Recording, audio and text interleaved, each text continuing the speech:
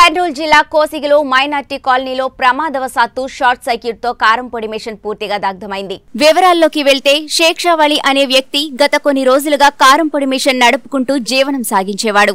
శనివారం మధ్యాహ్నం తను వేసుకున్న షెడ్లో షార్ట్ సర్క్యూట్తో ఒక్కసారిగా మంటలు వ్యాపించడంతో షెడ్ మొత్తం కాలిపోయింది. ఈ ప్రమాదంలో కారం పొడి మిషన్ మిరపకాయలు ఉప్పు తిండి గింజలు ఇతర సామాగ్రి మొత్తం కాలి బూడిదయ్యాయి. చుట్టుప్రక్కల కాలనీవాసులు గ్రహించి వెంటనే మంటలు ఆర్పేందుకు ముందుకు వచ్చిన ఆ కారం పొడి నుంచి వచ్చే ఘాటుతో దాదాపు కాలనీ వాళ్ళందరూ పరుగులు తీశారు.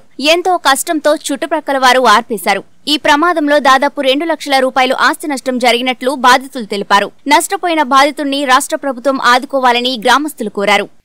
గల్లన మొత్తం మంటలో అంటుకున్నారు గోడానికి అంటుకున్న తర్వాతే మరటి గల్ల నుండి ఫోన్ చేసిన వెంటనే అక్కడ బయట నుండి ఒక వ్యక్తికి ఫోన్ చేసి ఆ- ఆ వ్యక్తి వచ్చేసి మొత్తం అందరూ పిలిచి కాసి ఆరిపినారు ఆరిపి మొత్తం మోటార్ గీటర్ అంతా ఒక రెండు లక్షల సామాన్ మాదిరిగా లాస్ అయిపోయింది అంతా.